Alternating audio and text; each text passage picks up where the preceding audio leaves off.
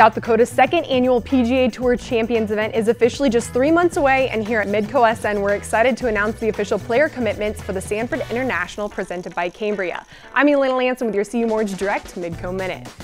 Announced this week by tournament officials, Ken Tanigawa has officially committed to hit the links for the PGA Tour Champions event. The Kobe, Japan native won the KitchenAid Senior PGA Championship last month and is currently sitting in the top 15 of the Schwab Cup standings. He is coming back to South Dakota after finishing last year's Sanford International at plus four. The tournament will take place September 17th through 22nd at Minnehaha Country Club in Sioux Falls, and you can find information on becoming a volunteer or purchasing tickets at sanfordinternational.com.